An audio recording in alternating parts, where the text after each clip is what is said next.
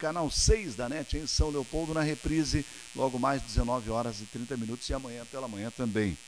O programa tem o oferecimento de Petrovi Postos de Combustível, PVC Sul Plásticos, Facate, SVR Segurança e doutor Geraldo Andrade, advogado. Ao lado do Luiz Fernando Martins, do Zequinha Luz, para repercutirmos dupla Grenal, dupla do Vale aqui no Hamburgo e Moré e outros destaques do esporte, seleção brasileira e tudo mais. O programa está no ar e a partir de agora, com o Alex Carioca ali na retaguarda, né, técnica de áudio, de vídeo, para nos dar aquele suporte que é importante, que é fundamental. Muito bom dia, Zeca, bom dia, Luiz Fernando, tudo bem? Bom dia, Baltar, bom dia, Luiz Fernando, dia. amigos da Vale TV, tudo bem. Agora é anunciar o seu novo técnico, novo, entre aspas, para 2018, confirmado Arilson Costa. Olha, esse é um dos destaques importantes do programa de hoje. Luiz Fernando Martins, bom dia. Bom dia, Baltar, Zequinha, bom dia aos nossos telespectadores. É, falando em técnico, né, é, Beto Campos se apresenta segunda-feira para iniciar ou reiniciar os trabalhos junto ao Esporte Clube Novo Hamburgo, o que gerou, sim, uma certa desconfiança, uma certa apreensão por parte da torcida anilada, enfim, até a imprensa, né, por tudo que envolve o futebol, as negociações do futebol. Será que ele volta mesmo? Inclusive, houve alguns comentários em relação à sua é, não vinda para o Esporte Clube Novo Hamburgo, se assim podemos dizer, mas tudo não passou então de boatos, especulações. E Beto Campos, juntamente com Darley Costa, Rafael Dias e a equipe, que aliás já estão treinando no estádio do Vale. Muito bem. Aliás, eu fui um dos que duvidei da vinda do Beto Campos e admito aqui que bom para o Novo Hamburgo, que bom para o futebol do Vale dos Sinos. Mas muito tem a ver também com a situação do Criciúma, né, na tabela, aquela função toda, e um projeto que o Criciúma queria para o futuro. Se ele quisesse realmente permanecer com o Beto Campos, aí a situação ia ficar mais complicada para o Novo Hamburgo repatriar o seu técnico. O importante é que o técnico está aí. Podemos até, quem sabe, começar já pelo Novo Hamburgo, né, já que estamos falando de Novo Hamburgo. O Novo Hamburgo está montando seu time, trouxe jogadores importantes. Tem jogador até estrangeiro, né, Luiz Fernando Ezequiel? É. Gabriel Mendes. Ah, Gabriel Mendes, um argentino. Gabriel Mendes. Mendes. É. Me parece que vem mais um, inclusive, vem do Paraguai, é, para reforçar o plantel. Uh, a, inf a, a, a informação e a intenção que a gente, que o Novo Hamburgo tem através do departamento de futebol, é de que o Novo Hamburgo vai montar um elenco tão bom ou melhor do que o elenco deste ano campeão gaúcho. Isso na teoria é evidente. Na prática a gente vai ver lá dentro quando começar a bola, né, quando a bola rolar, se esse grupo então dito ser melhor do que o do que tá, do ano que está passando, vai confirmar dentro de campo. A gente sabe muito bem que o futebol nem sempre, não é? é tem resultado ou tem a vitória, obtém a vitória aquela melhor equipe, aquele melhor grupo e assim por diante. As surpresas acontecem. Agora, que o trabalho está sendo feito nessa direção, né, Zequinha? De montar um grande, não só time, mas um elenco, de ter aí dois bons jogadores, no mínimo, por posição, porque serão quatro competições e três delas assim intercaladas, né, Zequinha? Acumuladas como a Supercopa, a Recopa, a decisão da Recopa, a Supercopa Gaúcha, Gauchão e Copa do Brasil. Então ali janeiro, fevereiro, Copa, março, depois a Campeonato e aí já Brasileiro. termina essas três competições aí, já vem a, a Série D, então o grupo tem que ser forte e numeroso. É, o, o Everton tem colocado para nós, eu falo seguidamente com ele, que tecnicamente esse grupo tem mais qualidade. Uhum. Isso não quer dizer, é evidente, que os resultados virão, mas que tecnicamente esse grupo é mais forte, é mais qualificado que o grupo do desse ano. A gente está falando do ano passado, não, mas é desse ano. O Novo Hamburgo ainda é, é, o campeão. E coloca uma coisa que é muito importante: o planejamento do Novo Hamburgo. Ah, Novo é Hamburgo se planejou para as quatro competições para ter futebol até o final do ano. E a gente sabe que o Novo Hamburgo não foi adiante na Copa, no Campeonato Brasileiro Série D, porque não havia se planejado. Não. Terminou o campeonato num, num domingo, na segunda-feira desmanchou o grupo. E aí o Benhur veio, teve que montar aquele grupo às pressas, uma semana é. depois. E uma entrou, semana depois tinha jogo. Tinha jogo, acabou não se classificando. Então, esse ano, o, já, o planejamento para o ano que vem, perdão, claro que o planejamento partiu já desse ano, já está pronto, é para o campeonato o ano inteiro, então, É. com todas as competições. E eu passei hoje, agora de manhã, ali pelo Vale, havia treino e havia torcedores. Quer dizer, eh, deve ser um treino físico, evidente. Treino nem- hoje, nem- sim. é, é. Treino hoje em A- dois a- períodos. Aquele, cara, os primeiros dias, e, o que chamou a atenção que tinha torcedores. O pessoal lá em cima já assistindo, quer dizer, chamando Curioso, então né? a atenção. Exato. O, o segundo dia, o que, que vai ver lá? Os jogadores correndo em volta do campo ali. Ah, mas já ah, esse, esse apoio popular da torcida, eu acho que isso é fundamental, é importantíssimo. E o Novo Hamburgo, eu acho que está muito bem focado, muito bem preparado. É. E agora, claro, quando a bola rola, às vezes a gente é. não tem a, a, a- a- o próprio campeonato uh, gaúcho, as quatro primeiras partidas do Novo Hamburgo, elas podem direcionar assim, olha, É. tu pode dizer assim, dependendo das quatro, vai dizer, o Novo Hamburgo vai ser bicampeão. Porque vai? se arrancar com, com Caxias fora, Internacional em casa, depois Juventude e São José fora, quer dizer, se desses quatro jogos, 12 pontos ele fizer uma pontuação suficiente para dar algum amparo, olha, É. Novo Hamburgo segue adiante. Uh, Outro, outro fato que eu quero destacar, Zequinha, é que no galchão desse ano, ou no grupo desse que foi campeão gaúcho, não existia, me corrijam, vocês dois se eu estiver errado, não existia aquele meia, aquele camisa 10, o, né, o antigo, o Douglas, o Everton Ribeiro, o jogador que pega a bola, para, pensa o jogo, articula, só eh, faz o time andar. Tinha um meio-campo formado por Amaral, Preto, Jardel Juninho. Nenhum com essa característica do meia articulador. E esse ano o Novo Hamburgo contratou um articulador. Ou seja, o Beto vai ter também essa possibilidade de montar o time com esse meia pensador. Talvez Bem mais a, recomendado, Rafael Toledo. Rafael Toledo. Talvez Muito mais- bem recomendado pelo Everton. talvez mais aproximado de- desses jogadores é o aí Preto, seria o Juninho e o próprio Não, e o Preto. O Preto É. tentaram Eu fazer, mas acho mais é. o Preto, É, o mas Preto, o- o Preto é, é o O Juninho é um pouco mais de velocidade, aquela é função toda. Ele é né? o pulmão, é, o cara que recompõe, é o cara que está na frente, tá, volta. quer Mas dizer, no futebol moderno, que se fala muito em futebol moderno, né, Zequinha e Luiz Fernando, esse, esse futebol de velocidade, o próprio eh, Grêmio, durante um período, ele adiantou o Luan, que hoje é o, o articulador, é. jo- jogou com o Luan lá na frente e jogou com dois e meias mais avançados. Quer dizer, não tinha também, quando o Douglas machucou, o Luan jogava lá na frente e era o, e claro que hoje ele é o articulador do, do time, né? É, mas é, o Grêmio era assim, ele também não tinha um articulador, o 10 ortodoxo, que o Luiz Fernando Martins chamou aí, que é o D'Alessandro, que é o Douglas, que é o, É. o Nenê no Vasco, aqueles caras todos, é. Então não, não tinha esse, esse, esse jogador, o, o Rodriguinho e o, O, Jadson. próprio, o né, próprio no Corinthians, que é, é. campeão, hoje não É. tem. Não, aí eu discordo. Quem é o- ele tem o Jadson, ele tem o Rodriguinho. Rodriguinho. Não, é o Jadson é o meia de articulação, é o meia de Não movimentação. é, o- não é o de aproximação. Não é o 10, o Mas- são diferentes. Mas são jogadores Tem diferenciados. qualidades. É. Tem, São tem. jogadores com qualidade. A diferença que fez agora, mudando um pouquinho de assunto, Uhum. o Jadson, né? Quando entrou no jogo, o último que o Corinthians venceu por 3x1, que sa- sagrou-se campeão, o Corinthians estava amarrado, o Corinthians estava enrolado. O próprio Jadson na no, no, no, no, jogo, é, jogando pela equipe pelo, pelo, pelo São Paulo, ele era o 10, ele É. era o articulador.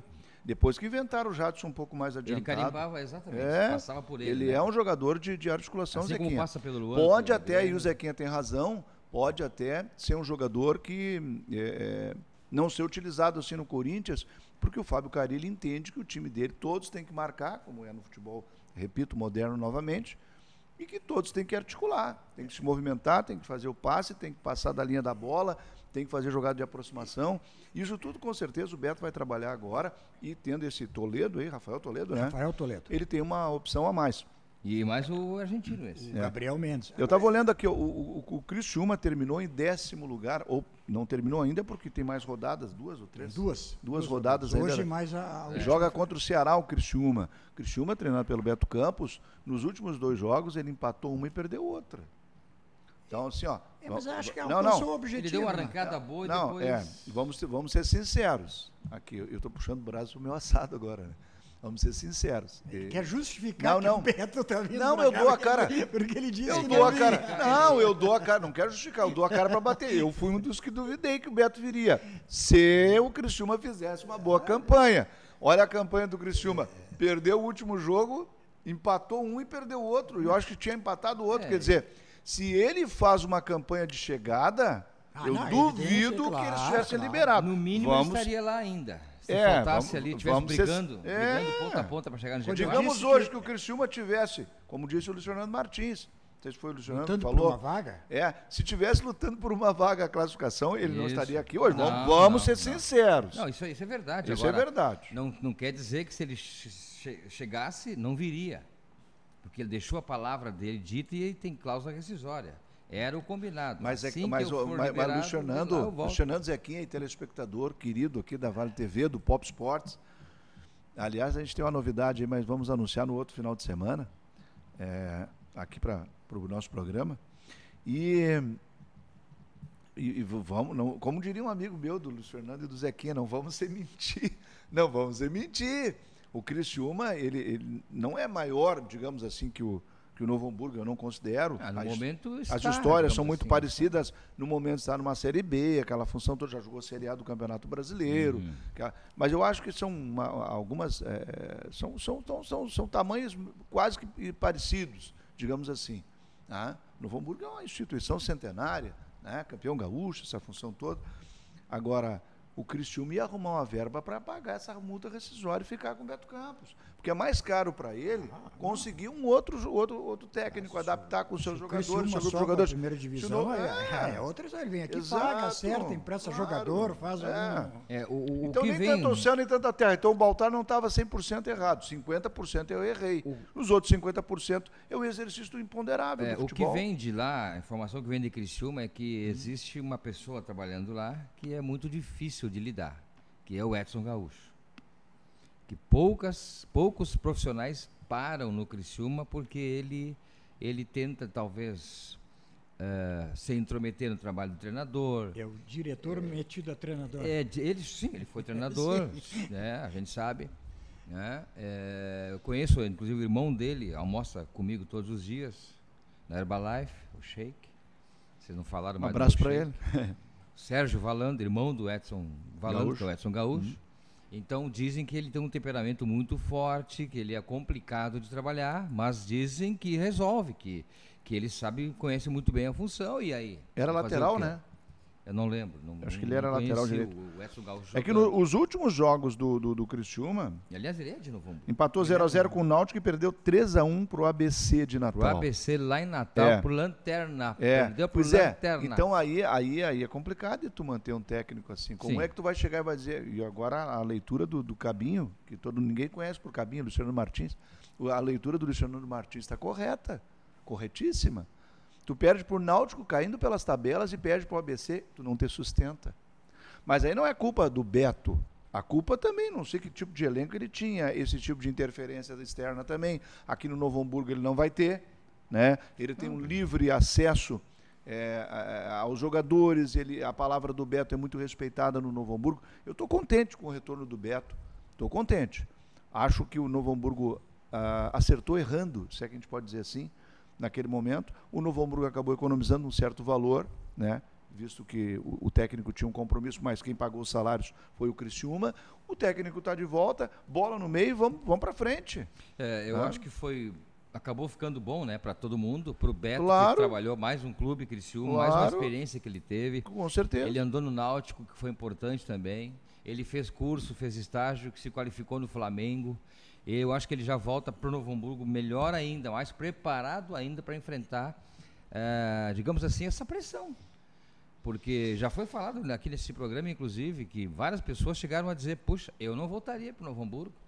Eu vou ter que, vou ter que provar que eu sou bom, vou, vou, ter que, vou ter que manter um título, vou ter que defender um título.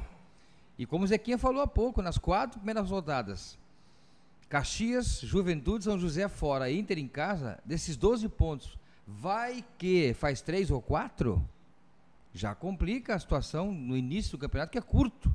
E aí já o trabalho começa a ser questionado, Agora- mesmo sendo o Beto. Acrescente-se a tudo isso que eh, você falou, Luiz Fernando, outra novidade boa para o Novo Hamburgo, deve vir ainda mais uns três ou quatro jogadores, três no mínimo, que estão disputando a Série B, até pelo envolvimento do Beto, que hoje está na Série B, estava na Série B, disputando, conhecendo jogadores, daqui a pouco lá do CRB, do Ceará. Do, então, o próprio Everton falou que ainda não anunciou, porque eles, esses jogadores ainda estão jogando num clube da Série B e que foram ah, vistos e indicados pelo Beto, até por esse, esse confronto, posso dizer assim, do Criciúma com, Ó, com as outras equipes. é, o- talvez o Everton não queira divulgar, mas a gente sabe, a gente pode falar aqui, pelo menos pode cogitar.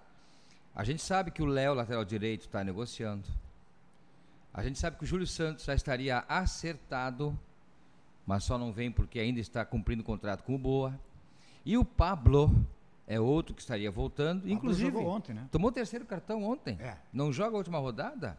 Eu não duvido que o Pablo já não esteja aí semana que vem, já treinando, trabalhando no Novo Hamburgo, a não ser que ele queira aí pelo menos uma semana para dar uma respirada, para dar uma descansada, digamos assim, entre aspas, e vindo aí depois semana que vem para o Novo Hamburgo, Boa acerta tudo lá em Lucas do Rio Verde com o Luverdense e que, foi rebaixou, foi que rebaixado rebaixou ontem ontem com um empate. E mais um show do Lisca, após o jogo. É, mais um, mais um mais clube um que ele show do Lisca. Ontem 2016 ele manteve, salvou o Ceará. 2017 salvou o Guarani, né? O que ele tem que cuidar é para não ficar com esse Não rótulo conseguiu salvar de- o Inter, né?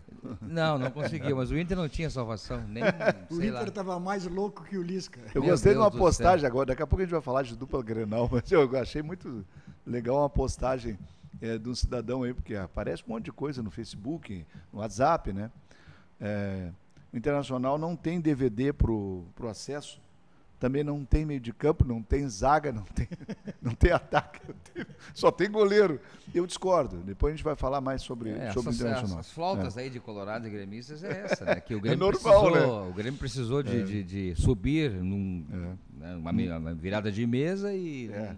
uma epopeia. O Inter É. voltou um pouco mais tranquilo, digamos assim. É, Mas é, mas é faz bom. parte, essa flauta é É, saudável. a, a Batalha do Velho Oeste não, não É, colou, não, né? Tentaram não, fazer a não, Batalha não, do Velho não. Oeste, mas não deu certo. Não, não. Velho Oeste era bom, era com John Wayne e companhia É, militar. Mas ainda Mas de no... o- Oi, ainda só, de- só lembrando, Valtar, desculpe, hoje ou já estão jogando lá em Alvorada, Sub-23? não, os juvenis do Novo Ah. Hamburgo e do Inter.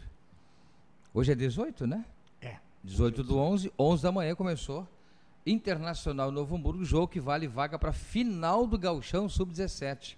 Lembrando que em casa o Novo Hamburgo perdeu para o Inter por 2 a 1 e terá que fazer lá Tem saldo 2 a qualificado? 0. Se fizer 1 a 0 é ainda dá Inter porque fez dois gols fora.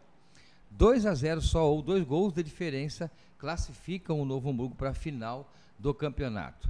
E se passar, enfrenta o Progresso de Pelotas ou Juventude, que é- fazem a outra final do Sub-17. O, o, o- o infantil, o Sub-15, como queiram, ficou, se sagrou vice-campeão gaúcho, ganhou em casa do Juventude 2 a 1 mas perdeu em Caxias por 1 a 0 e aí 1 a 0 do Juventude com o gol fora, gol qualificado, fez com que o Juventude fosse então o campeão gaúcho desta categoria, que está também o Juventude brigando para chegar na final do Sub-17, faz boas campanhas no 19, quer dizer, o Juventude continuando aquele bom trabalho de base, As categorias de base. o que começa a aparecer também no Novo Hamburgo. No Novo Hamburgo sempre se tinha notícia, informação e que se sabia de um bom trabalho na base, mas os resultados de campo não apareciam. Agora já começa a chegar em finais, já começa a ganhar título. Um vice-campeão gaúcho, sub-15, gente, isso é muito importante. Foi no Passa jogo pro Grêmio, contra o Juventude, Inter, né? Passa por grandes equipes aí. Foi, um- foi um dia antes do jogo do Grêmio contra o Vitória. Foi, até o Lá Renato. no Alfredo Jacone. Até o Renato gostaria que, que esse jogo não tivesse saído para não, não estragar o gramado. Aliás, ontem, não sei se vocês viram, Uhum. Juventude e Figueirense. O gramado do Jacone, olha, meus amigos. É um gramado que está Tá recebendo muitos jogos. Tá, tá precisando. Precisando uma boa de uma um bom, um bom descanso, uma boa de uma reforma. É. Porque senão, para o ano que vem, vai ser complicado jogar no Jacone. Está muito, muito ruim o gramado do Jacone. É verdade. Bom, são 11 horas e 25 minutos, estamos ao vivo aqui no programa, valetvplay.com também, você assiste o nosso programa, o Pop Sports, tem o apoio cultural do Petrovim Postos de Combustíveis, PVC Sul Plásticos, Facate, doutor Geraldo Andrade, advogado. Um abraço para o doutor Geraldo Andrade, está nos assistindo, Carlos Dantas lá em Passo Fundo, o Luiz Fernando Fracasso lá em São Leopoldo, essa turma toda que trabalhou com a gente aqui, passou por- pelo programa aqui. Por falar em fracasso, Hum. foi eles aqui que disse sábado passado, aqui nesse programa, que não seria Arilson o técnico? Eu disse. Ah, foi você. Desculpa. Eu disse. E não seria lembrando. Arilson? É. Foi você que disse? Eu disse. Ah, achei que era só eu que errava. Não, mas conversando ontem com o Arilson, ele disse e confirmou. É. Eu não quero mais treinar categorias de base. Hum. Não fico no Emoré. Ele não Mas ia, ele ele não ia pro convidado. Grêmio, Zequinha? Tinha convite. Hum. Mas daí era aquele. Quando, às vezes a gente fala no Grêmio. É convite ou sondagem, ou só só- boato? É, aquela sondagem. Mas tem um tu bom ver, relacionamento tu lá, Vai né? trabalhar na sub-13, na sub-15, na sub. E aí tira um pouco Ah, da mas tu vitrine. tá no Grêmio, né? É, sim, eu sei, eu sei, mas Quando tu vê. Vai jogar competições importantes. ele quer, talvez, claro, quem é que não quer treinar o Hum. Grêmio Internacional? Mas ele queria era sair. Tá, mas só um parênteses, só um parênteses então. Não será ele o técnico do Aimoré na Taça São Paulo? Não, Não? não, não. O Arilson, a partir de ontem, E quem será? Já tem o nome?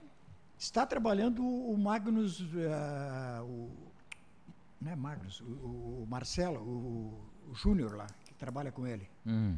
Ah, o Marquinhos Viana, É, que, que ele é do, do, do, do Magnus Viana. é filho do Magnus Viana. Filhos do, do É Magnus sobrinho, Viana. sobrinho, Sobrinho. É, esse já está trabalhando. Uhum. E o Arilson, a partir de ontem, como foi confirmado, Hum. vai assumir o time profissional do Aimoré, A partir que abre de 2 dezembro. de dezembro. Hum. Tem já algumas contratações, inclusive o Luiz Fernando conhece bastante o zagueiro Léo Canu. Sim. Cruzeiro, pelo Cruzeiro. Novo Hamburgo. Aham. Já, Sim. já foi contratado, só que eu acho assim que as perdas do Aimoré estão sendo maiores, mais significativas que as contratações. Hum. Semana perdeu o Faísca, perdeu o goleiro Nicolas, que está indo para o São Paulo de Rio Grande, lá junto com o Claito. Baita Diego, goleiro. o né? Diego Zig. Exatamente. Ah, ah, o, O Faísca foi pra onde? Cruzeiro? Não, o Faísca foi para o Erechim, Ipiranga? para o Ipiranga de Erechim, junto com o Marco Antônio. Então o Aimoré está perdendo alguns jogadores, mas aí confirmação do Arilson, Rodrigo Carvalho será preparador físico, Conheço. também é com passagem aqui. Então o Aimoré está se Normal, organizando, né? normal essas mudanças. Mas o, o- o- fato que foi relevante, inclusive, lembrado por vocês, é que o Aimoré tem uma competição que é a série. O acesso que inicia lá por março? 4 de março. Março, mas o Aimoré poderá ter a Copa do Brasil antes. 31 um mês antes. É, é, foi a- o que eu, que eu questionei ontem. Quer o dizer, o. Aimoré vai ter que montar um grupo para iniciar um, um jogo, talvez em janeiro, e depois parar para voltar a jogar em abril. Foi Ah, isso que eu perguntei março, né? ontem e o presidente ele está ele tá assim indeciso. Se vai É. fazer duas pré-temporadas ou, ou dois grupos diferentes e a, a ideia talvez seja um grupo mais, como diríamos assim, mais modesto na Copa do Brasil, com a categoria de base e Hum. mais algum ou dois, três que estão aí, porque Que tem um contrato, porque como é que você vai fazer um contrato? É. Porque, na realidade, tomara que o Aimoré fosse campeão da Copa do Brasil, mas o que a gente está sentindo é vai fazer um jogo, no máximo dois. Quando começa a apertar, não, não tem. Não, a gente é, a teoria é Não essa. a teoria, A teoria claro, é a gente está falando, então, Um jogo, dois. faria um grupo mais modesto para a Copa do Brasil e, posteriormente, fazer um O- grupo mais forte para o pro- o campeonato forte do Aimoré do ano que vem, O tem que ser a próprio, divisão de acesso. o- exato. O próprio Novo Hamburgo tem a, a meta de jogar pelo menos três fases da Copa do Brasil, o que já seria ah, Já muito dá bom mais que todo o gauchão financeiramente. pelo valor que, que vai envolver isso e pela mídia. É. Mas agora, daqui a pouco, joga até mais, ou não, ou não, né? Mas vamos ver. Bom, vamos fazer um intervalo agora dos nossos apoiadores culturais. Na sequência, nós voltamos aí com os cards do programa e também com dupla Grenal, seleção brasileira, mais de Novo Hamburgo, mais de Aimoré. A gente faz um meio de campo aqui e volta na sequência no Pop Sports aqui pela Vale TV. Já já voltamos.